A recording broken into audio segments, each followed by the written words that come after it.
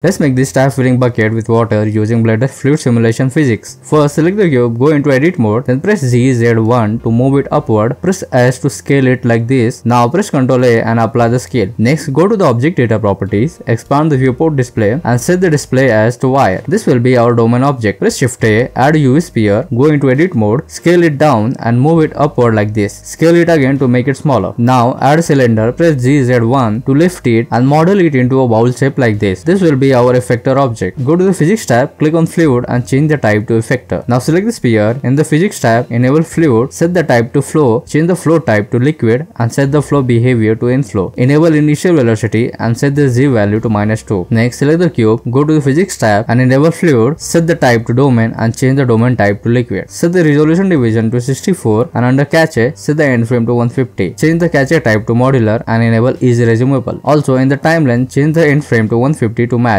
Now hit bake data. It may take a while depending on your system's performance. Once done, press spacebar to preview the simulation. As you can see, the liquid flows through the bowl. Let's fix that. Select the bowl, go back to the physics tab, set the sampling to 10 and surface thickness to 0.5. Now select the domain object, click free data, then bake data again to update the simulation. Scroll down, expand the mesh section and click bake mesh. Next, go to the object data properties, set the display as back to solid and then right click the sphere and choose shade smooth. Optionally, you can enable particle, go to the particle section, enable all three options and click bake particles. Press spacebar again. Your simulation is now fully ready. Now, in the final render, I have quickly modeled and set up the scene like this. The domain is placed and set the sphere right under the tap where we want the water to come out. Here are the effectors and domain settings. For the domain, I have increased the resolution to 128 and rest of the settings remain mostly the same, including the mesh and the particle section. In the cache, I have updated the end frame to 200 and also added a few cameras to capture the scene from different angles. Then use Ctrl B in the timeline to bind each camera